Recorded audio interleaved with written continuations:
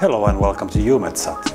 I'm Vesa Nietosvaara and I'm a trainer here at EUMETSAT. Welcome also to my office where I'm now going to show you some things you can do using the dust RGB.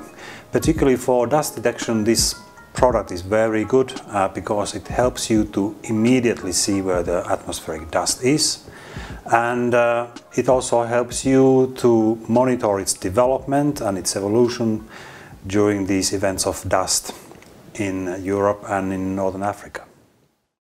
I would like to introduce you with one example of a dust case which helps you to understand why it's quite easy to use this product compared to individual satellite channels like visible or infrared uh, channel images. On my screen you can now see there's a nice weather front over the southeast Europe. You see this big warm front shield. Cloudiness over here consists of thick frontal clouds. And then you see the cold front going down to the south towards Egypt. And of course, if you would need to answer the question where is the dust, this type of an imagery is not very useful that because it's the dust is hidden, it's uh, almost the same color as the clouds or the low clouds.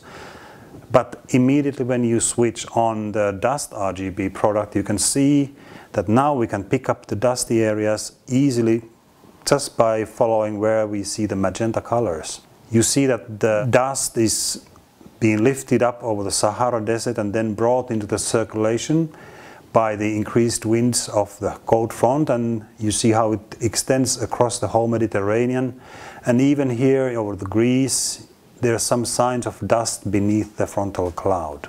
You can also see some other features that often we use the dust RGB like the thick frontal clouds, you see they are very ochre or dark brown colors, whereas the very thin cirrus clouds are almost black. But this time we only focus on the magenta color, which is the dust itself. The fact that we use only thermal channels for creating the dust RGB product makes it possible for us to use it 24 hours a day. That is one strong point for using this product and it makes it easier to monitor it throughout the day and night. I like to show you another example now.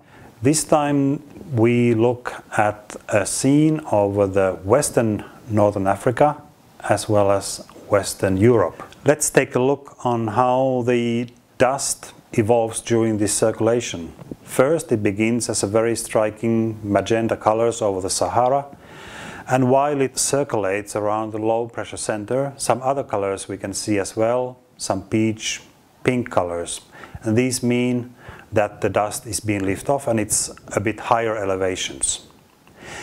Once the dust moves towards north, you can see how sometimes the frontal clouds actually block us from seeing the dust itself but whenever there's even a slight hole in the cloud layer, the magenta color beneath becomes visible and that helps us to actually track the movement of the, of the dust. And this is why the animation is very useful when monitoring the dust. This photo here from the Alpine region shows the effects of what happens when the dust settles with rain or snowfall. You can see how the ground turns pinkish brownish because of the dust.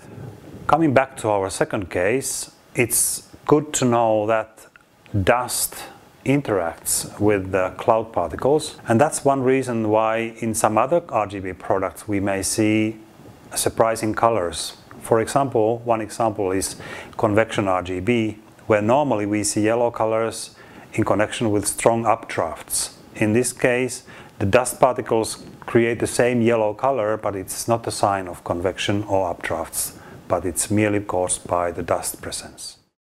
To sum up, use the dust RGB for detecting the dust and aerosols in the atmosphere. Remember that this product is available 24 hours a day because we only use the thermal channels. The colors are quite easy to interpret. Magenta stands for dust. Sometimes when the dust is lifted up higher, you can see also peach and pinkish colors.